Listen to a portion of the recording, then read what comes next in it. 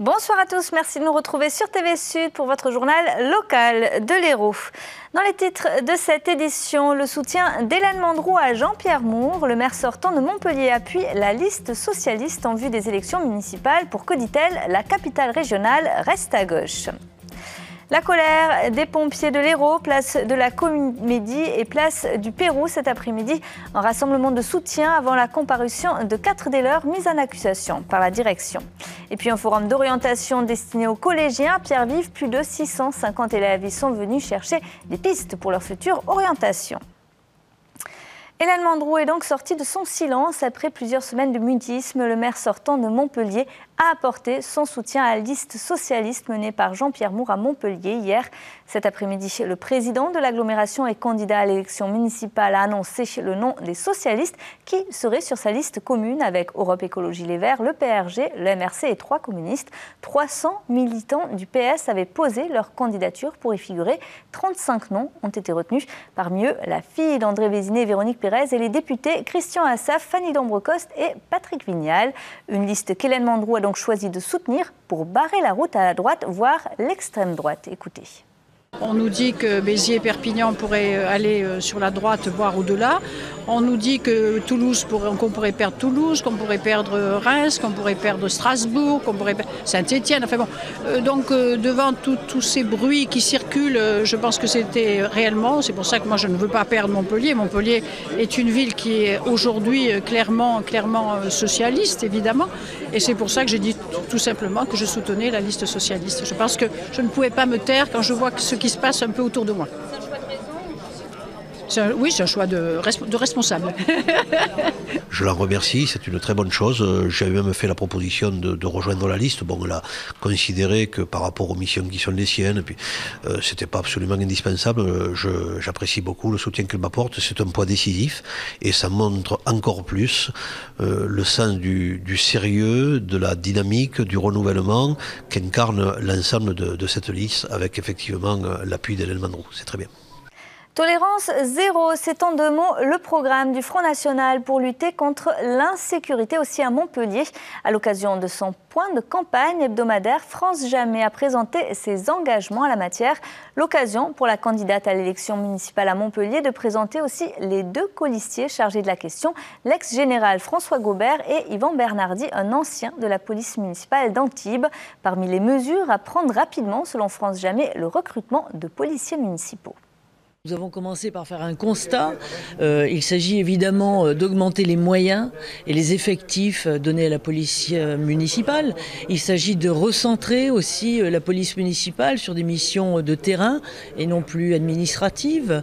il s'agit aussi notamment de, de, redonner ces lettres de, noblesse, de, noblesse à la police municipale. Et cela commence aussi par une, comment dire, une politique d'information mais surtout euh, une politique de tolérance zéro, une politique assumée, une politique assurée, une politique avérée qui, normalement, va nous permettre d'inverser euh, les fameuses courbes de l'insécurité. Nouveau mouvement de colère des sapeurs-pompiers de l'Hérault cet après-midi en grève depuis le 11 décembre. Ils étaient environ 200 à manifester dans le centre de Montpellier cet après-midi. Un rassemblement pour dénoncer notamment la rupture des négociations avec la direction. Les manifestants ont ensuite convergé vers le tribunal de grande instance à l'occasion du procès de quatre responsables syndicaux accusés de diffamation. Les détails, Moadel Yakabi. Face à la barre, les quatre représentants des principaux syndicats du SDIS, poursuivis pour diffamation par leur directeur, en cause un courrier daté de janvier dernier dans lequel le colonel Riesdorfer est directement visé. L'intersyndical le rend responsable de nombreux dysfonctionnements et d'erreurs de commandement comme lors de l'incendie de 2010 qui avait ravagé 4000 hectares de garrigues. Quelques minutes avant l'audience, les quatre hommes étaient rentrés sous une haie d'honneur plus de 200 pompiers s'étaient encore une fois mobilisés pour la nouvelle bataille d'une guerre qui dure maintenant depuis trois mois. Aujourd'hui, le conflit s'est déplacé sur le terrain du juridique. C'est extrêmement rare que des syndicalistes soient poursuivis en justice dans le cadre d'un conflit social. Je crois qu'en général, on a effectivement fait preuve de mesure. Là, effectivement, euh, sous couvert du SDIS, le monsieur Riesdorfer poursuit euh, sa colère et, sa guerre. C'est effectivement peut-être un peu déplacé et pas forcément le, le, lieu. Moi, j'aurais préféré qu'il fasse autre chose. Le dialogue semble donc plus que jamais rompu entre les deux camps. C'est toute la hiérarchie du SDIS qui cristallise aujourd'hui les rancœurs des pompiers. Le directeur, c'est un problème, mais notre président du conseil d'administration, ça est un aussi. Et c'est lui...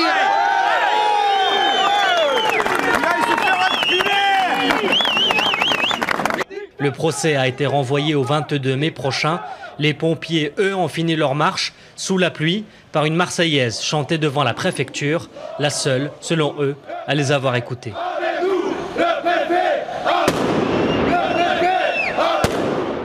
Les chiffres du chômage ont été publiés hier soir au 31 janvier 2014. En Languedoc-Roussillon, 257 019 personnes sont inscrites comme demandeurs d'emploi, toutes catégories confondues. C'est 0,5% de plus qu'en décembre. Sur un an, le chômage a augmenté de 5,4% dans la région. Et pour bien s'orienter, mieux vaut s'y prendre tôt. Une cinquantaine d'exposants d'entreprises, organismes de formation et collectivités étaient à Pierre-Vive, à Montpellier, mardi, à l'occasion du Forum des métiers, une manifestation à destination de quelques 650 collégiens de l'Hérault pour les aider à s'orienter et effectuer les bons choix pour la suite de leur cursus scolaire. Maxime Maistre et Ahmed Ramani. Petit, on veut souvent devenir agent secret, acteur ou encore astronaute. Et puis l'adolescence arrive et ses doutes avec. Et c'est pour pallier à ces derniers que le Forum des métiers a ouvert ses portes. Mais à 15 ans, peut-on vraiment savoir ce que l'on veut faire de sa vie? Certains, pas vraiment. Donc là, vous faites quoi? Euh, On va voir. Euh, bon, non, voit même pas, non. là, je sais pas quoi dire, franchement. D'autres, en revanche, sont un petit peu plus confiants. Parce que j'aime bien tout ce qui est multimédia, euh, high-tech. j'aime bien aller sur l'ordinateur, jouer aux jeux vidéo, donc ça m'a. J'ai voulu quelque chose qui englobe un peu tout ça, donc j'ai choisi ingénieur électronique. Si je fais pas les bons choix tout de suite, le bon lycée avec les bonnes options, après c'est un peu trop tard. Mais si le salon n'apporte pas de solution radicale à la question de l'avenir, il peut néanmoins renseigner, aiguiller et même faire découvrir les aspects inconnus de certaines professions. Alors bien sûr, il y a des questions qui sont du genre euh, à quelle heure faut-il se lever pour exercer ce métier? Et quand on leur dit, ben, pour un boulanger, c'est 2 heures du matin, pour un boucher, c'est 4 heures ou 5 heures du matin. Là, on voit qu'ils euh, découvrent un monde qu'ils ne connaissent pas. Et ça ne veut pas dire qu'ils n'iront pas vers ce monde-là, mais en tout cas, ils, apprennent des choses qui, sont, qui, qui, font partie des métiers. Le forum a concerné quatre collèges issus de zones d'éducation prioritaires afin de prévenir de tout risque de rupture scolaire. Femmes engagées, femmes sensuelles, femmes maternelles ou encore femmes discriminées, l'Héros Très Libre leur consacre sa deuxième édition. Le Festival international du dessin de presse se tiendra les 5 et 6 avril prochains à Montpellier et l'exposition inaugurée à cette occasion est à voir jusqu'au 31 juillet. En 2012, la manifestation co-organisée par l'association Cartooning for Peace, le club de la presse du Languedoc-Roussillon et le Conseil général de l'Hérault avait accueilli 50 000 visiteurs. Elle portait sur le thème de l'eau. Alors pourquoi avoir choisi le thème de la femme cette année. Écoutez. On a choisi les femmes parce que on s'est rendu compte que le thème des femmes alors on dit, oh, on a déjà tout dit, on a tout fait, on a fait des chansons, on a fait le... Non, non, on a encore mille choses encore à raconter et on fait venir des intervenants comme euh, Najat Belkacem, la ministre euh, des Femmes et porte-parole du gouvernement. On fait venir une fille incroyable qui s'appelle euh, Marie Leroy, qui travaille dans le 93 et qui m'a raconté, par exemple, on parlait des tabous tout à l'heure. Ben voilà, elle me disait, il y a un tiers des femmes dans le 93, quand elles accouchent, les médecins s'aperçoivent qu'elles sont toutes mutilées sexuellement. Donc euh, c'est quand même des informations qui sont un petit peu dérangeantes. Voilà, l'Héros très libre qui se tiendra donc les 5 et 6 avril prochains.